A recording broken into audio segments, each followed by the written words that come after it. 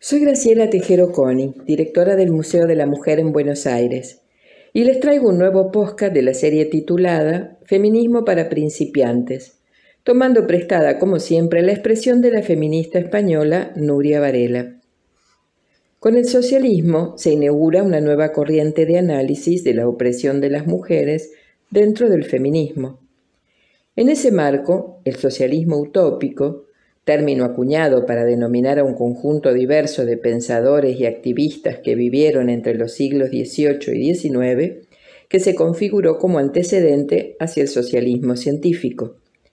Transición que pudo darse en un momento histórico en el que las condiciones materiales del sistema capitalista eran las adecuadas para una correcta comprensión del funcionamiento de la lucha de clases.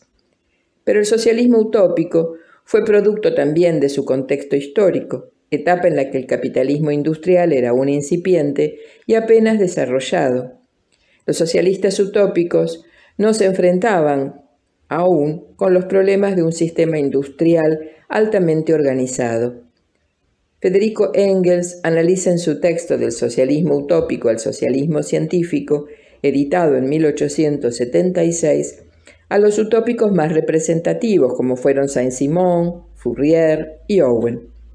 Pero desde entonces, el análisis científico que el marxismo ofrece desde una concepción materialista de la historia permitió un salto extraordinario del conocimiento. La relación entre marxismo y feminismo fue de atracción inmediata, pues ambos movimientos implican proyectos políticos de transformación social. Desde fines del siglo XIX, el feminismo consciente se vio influenciado por el marxismo como la primera teoría crítica de la historia que contempla las relaciones humanas en clave de dominación y subordinación. Ya en 1845, Marx y Engels, en el texto que hoy se conoce como la ideología alemana, concibieron la dialéctica entre las relaciones de producción y reproducción de la vida humana, utilizando un método de análisis que explica la correspondencia del desarrollo productivo y las transformaciones vinculares entre los sexos. Posteriormente, Engels escribió en 1884 El origen de la familia, la propiedad privada y el Estado, y en su primer prólogo nos dice, Las siguientes páginas vienen a ser la ejecución de un testamento, Marx había reservado para sí mismo la misión de exponer los resultados. Mi trabajo, a duras penas, puede suplir al que no pudo terminar mi difunto amigo. En su desarrollo explica que la opresión de las mujeres no se debe a causas biológicas, sino sociales, y la necesidad de controlar su capacidad reproductora. Este potencial reproductivo debió ser dominado con fines económicos, el sexo es una realidad anatómica que históricamente no hubiese tenido ninguna significación política o cultural si no se hubiese traducido en desventaja social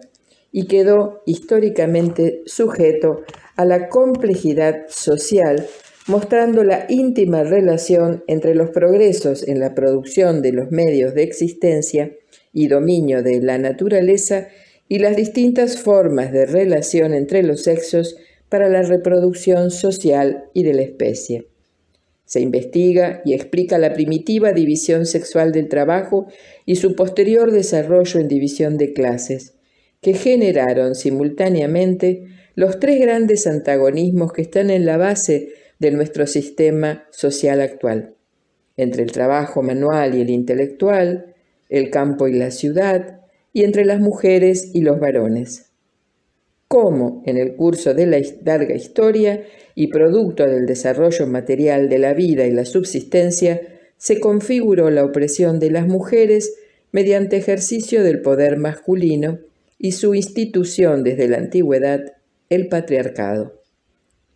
Engels dice,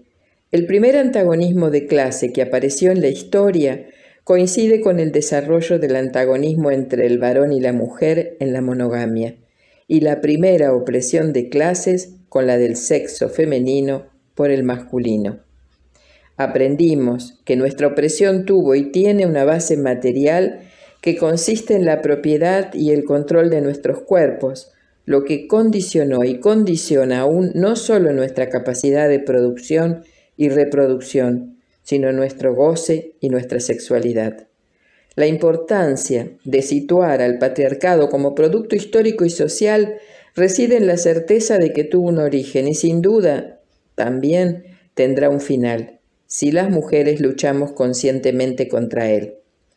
Recuperar esta genealogía del feminismo es hoy muy importante para el conocimiento de las más jóvenes, para que con él puedan orientar su lucha contra las violencias y exigir la liberación de la opresión estructural de la que aún en el siglo XXI las mujeres seguimos siendo objeto.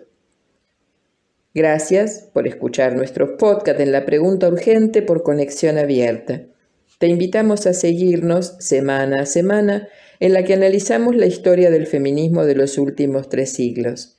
Si te gustó, compartí su contenido, visítanos en el museo y no lo dudes, sumate a la lucha por nuestros derechos.